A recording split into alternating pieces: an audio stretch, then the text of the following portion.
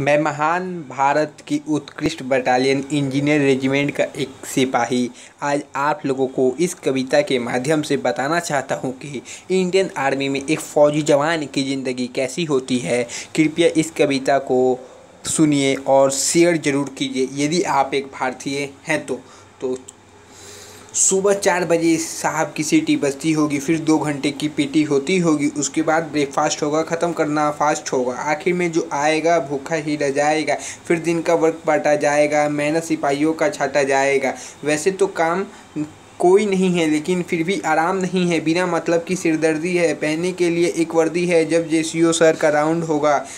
जय हिंद का साउंड होगा एसएम साहब जब आएँगे, चार पाँच गलतियाँ ज़रूर बताएँगे। पूरे दिन क्लास है, खाने में के लिए मैस है टाइम टू टाइम रिफ्रेशमेंट है, गलती करो तो पनिशमेंट है, एक बड़ी सी बैरक है बीज उसमें खाट होगी, सब पर एक रजाई होगी। मच्छरदानी लगाने में भलाई होगी। एमटी वाले तो मौज है, बस गाड़ी चलानी रोज है, हफ़्ते में तीन बार मीट है, खाने के लिए ना कोई सीट है। कभी कभी बना खाना भी होगा, उसमें जब सब जवानों को आना होगा, नई ड्रेस पहननी होगी, उसमें प्रेस करनी होगी। सीओ साहब भी आएँगे, मैडम को साथ में लाएँगे वो तो हल्का भोजन खाएँगे, बची, बाकी बचा हमारे जवान निपटाएँगे, जिस दिन एसएम साहब टेंशन में आएँगे, सभी जेसीओ के कान खड़े हो जाएँगे, काम की रिपोर्ट बतानी होगी, वरना गालियाँ खानी होगी, यूनिट को सब एक्सरसाइज में जाना होगा, उस समय ना कोई बहाना होगा, जवानों की लगी ड्यूटी होगी कैंसिल सारी छुट्टी होगी, आरपी वाले को ड्यूटी में रिक्स है, दस घंटे करना फिक्स है एमपी वाले बदे बदमाश है, ब्रिगेडियर साहब के बहुत खास है, यूनिट की रिपोर्ट ब्रिगेड में दे देते हैं, ब्रिगेड से प्रशंसा पत्र भी ले लेते हैं एमएच वालों की क्या बात है, निराली डॉक्टर की ज़िंदगी ज़िंदगी है एस वाली। यूनिट में एक कैंटीन है, उसमें क्लर्क तीन है, सामान भी थोड़ा कम है, महीने में छः बोतल रम है। चलो इसी का, इसी से काम बन जाएगा। अगले महीने फिर कोटा मिल जाएगा। मैडम भी हमारी आनी चाहती है, साथ फ़ोन पर रोज करती है। ये बात रूम यहाँ मिलना नहीं है। इसका अच्छा गाँव से सिर्फ़ यह इससे अच्छा गाँव ही सही है। यूनिट ट्रांसफ़र का जब ऑर्डर आएगा सीओ साहब का कलेजा हिल जाएगा, फिर एडवांस पार्टी जाएगी, बाकी पलटन बाद में आएगी। इस बार जम्मू कश्मीर की पोस्टिंग आई है। मेरी माँ भी थोड़ी घबराई है। यहाँ आतंकियों की है गोली, जिसका ज़िले का नाम सोपिया है। खाने में ड्राई फ्रूट है, सर्दी में अटूट है, नौकरी भी करेंगे, मौसम से ना डरेंगे। पाँच साल में प्रमोशन है, फिर ज़िंदगी रोशन है। बस पंद्रह साल की टेंशन है, उसके बाद पेंशन है।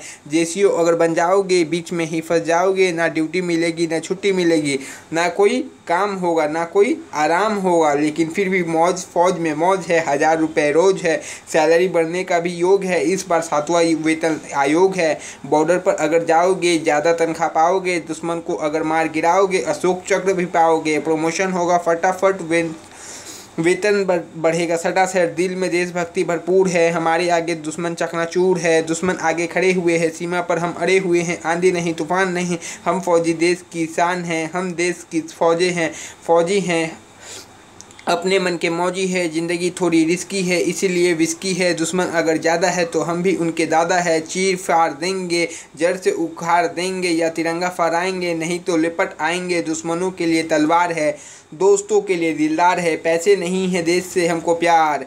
हम फौजी या, यारों के यार। और आखिरी में एक बात कहना चाहता हूँ आज़ादी की साम ना हूँ आज़ादी की कभी शाम ना होने देंगे, शहीदों की कुर्बानी कभी बेकार ना होने देंगे। बची हुई जो एक बूंद भी लहू की तो भारत माँ का आंचल कभी नीलाम नहीं होने देंगे। जय हिंद, जय भारत, जय वंदे मातरम। अगर आप एक फ़ौजी है या आपके परिवार में कोई फ़ौजी है या आप फ़ौजी की तैयारी कर रहे हैं या आप एन सी कैडेट्स है या आप फ़ौज को प्यार करते हैं, आपके दिल में इंडियन आर्मी के लिए प्यार है तो कम से कम इस कविता को 10 से 12 लोगों को, जो मैंने बताया 15 अगस्त के अवसर पर कम से कम ज़रूर शेयर कीजिए अपने फ़ौजी भाइयों के फ़ोन में, अपने जो प्रिपरेशन करते हैं आम नागरिकों के फ़ोन में, सभी को फ़ौजी से प्यार है। तो आज यह स्वतंत्रता दिवस के अवसर पे इसे आप ज़रूर शेयर कीजिए। यह एक कविता है जो कि एक इन्फेंट्री मैन के द्वारा लिखी गई है इंजीनियर के द्वारा। इंजीनियर रेजिमेंट के वीर भोग वसुंधरा, एक भारतीय सिपाही है, उनके द्वारा लिखी गई है। बस मैं इस कविता को व्यक्त किया हूँ। जय हिंद, जय भारत, जय वंदे मातरम।